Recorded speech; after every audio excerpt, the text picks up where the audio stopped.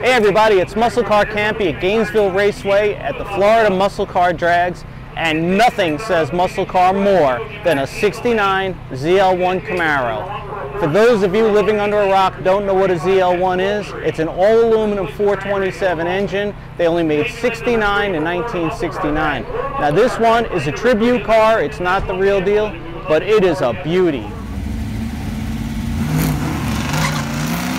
We're here with owner Tommy Norton, who has this magnificent beast here. How did you get this car?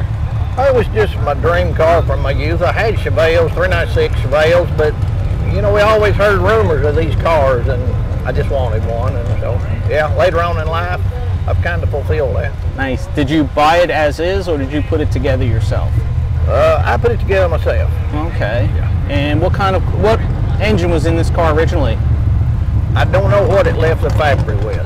When I got it, it had a 396 modified engine in it. Mm -hmm. Where did you come across a uh, ZL1 engine? I mean, they're obviously very rare. They were very expensive when new.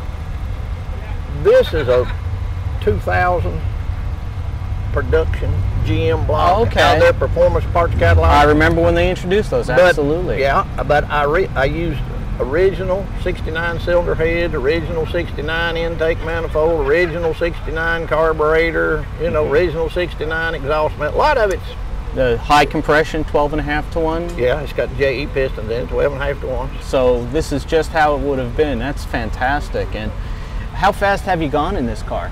I've gone 1237 at a little over 116 miles an hour. So the mile an hour is obviously there. Yeah that mile an hour is there yeah so not a lot of rubber to put all that horsepower through. No, it's not, and I go once a year.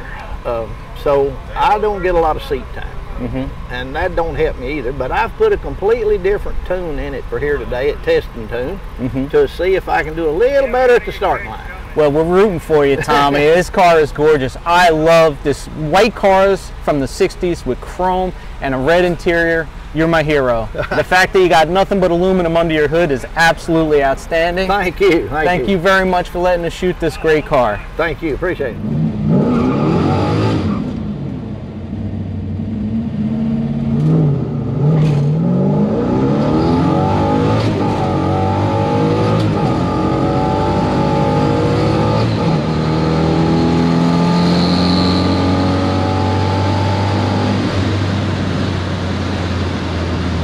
Thanks for watching. Please subscribe to Muscle Car Campy. Like this video and share it with all your friends. And once you subscribe, make sure you ring the bell so you get a notification every single time we put up a new video.